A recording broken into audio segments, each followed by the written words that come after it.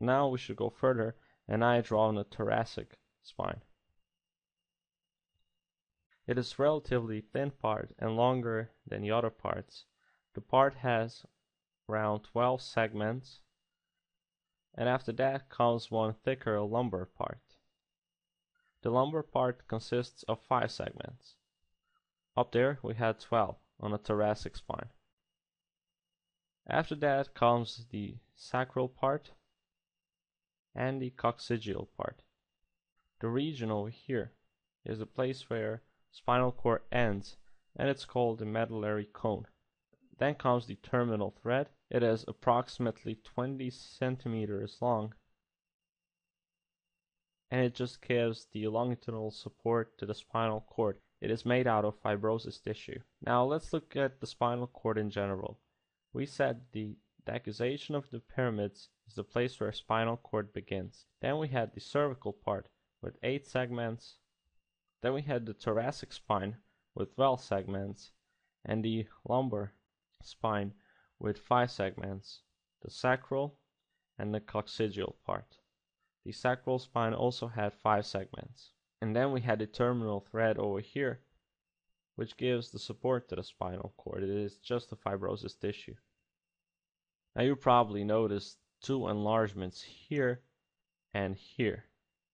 Those enlargements are explained because here, at these places, a lot of spinal nerves leaves for the extremities, for the limbs. Over here at the cervical part, they leave for the upper extremities, for the upper limbs, and down there at the lumbar part, they leave for the lower extremities, the lower limbs. Now I will illustrate the vertebral column and the spinal cord inside of it. As you can see, the spinal cord is shorter than the vertebral column. And because of that, we have the last lumbar spinal nerve leaving here, leaving the spinal cord, and leaving the vertebral column here. Same over here and over here. And I already explained you how we name these segments. You can just think about it from this uh, side view, it's easier to understand it.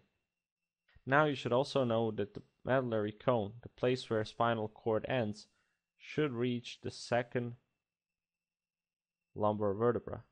It is not illustrated that way here, but you should just know that. Now I drew some cross sections of the spinal cord. First we had the cervical segment. Behind here you can see the median sulcus.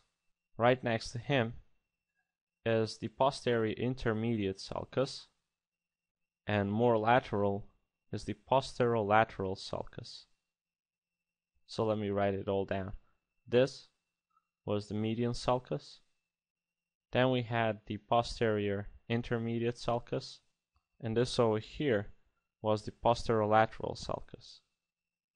The posterolateral sulcus, this sulcus over here, is very important because I said that the posterior roots for the spinal nerves leave here. So they come from here and they join the anterior roots and they create the spinal nerve. From the anterior point of view, you can see here the median fissure and over here you should be able to notice the anterolateral sulcus. On the back there is an intermediate septum over here. So this is the median fissure. Over here should be anterolateral sulcus. This is the intermediate septum. Now I drew further the gray matter. The gray matter is the place where neurons, the bodies of the neurons are. And the white matter over here is a place where are the axons of the neurons, the tracts. They have the myelin sheath. They are that's why they have this white color. I explained that in the lesson about the nerve.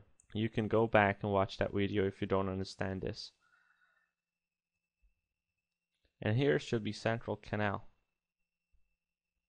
This over here is the central canal.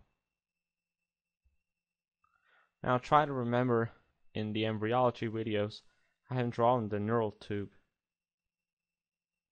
And if this is the neural tube, okay, we had the neural tube, there was a central channel over here. And those were the cells around it. The central channel stayed really small and all these cells around it have grown. So that's why we have a central channel here really small and the rest of the spinal cord really big. Now I explained you recently about the crossing fibers in the decussation of pyramids, but along the whole length of the spinal cord there are nerve fibers that cross sides and we call these the commissures. So over here you can see the gray commissure and the white commissure. This is the place where the sides exchange fibers. This part over here of the spinal cord is the posterior horn of the gray matter. It is the sensible horn. It is called the sensible horn because the posterior sensible roots of the spinal nerve come to the spinal cord through this horn. This part over here is the motor horn or the anterior horn of the spinal cord gray matter.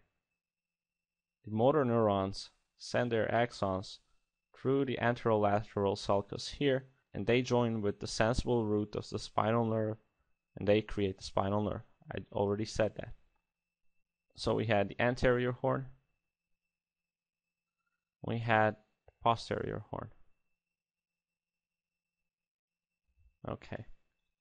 Now in the white matter we can distinguish the lateral funiculus posterior funiculus and the anterior funiculus. So this is the anterior funiculus. This is the lateral funiculus. And this over here is the posterior funiculus. Okay. Now the thoracic segments looks more like this. They are smaller. The gray matter will also have one more horn and it's the lateral horn. It's gonna look like this. So this over here is the difference. The lateral horn. This lateral horn can be found in all segments all the way till the first two lumbar segments over here. And then further it cannot be found anymore. You cannot see the lateral horn. So L2 is the place where the lateral horn ends. Now the lumbar part is going to look different. It's going to be bigger and have different gray matter shape. And of course, then comes the sacral part. It's going to be smaller and also a different gray matter shape. Uh, thank you for watching this video. Please check out my website, flashbrainanatomy.com.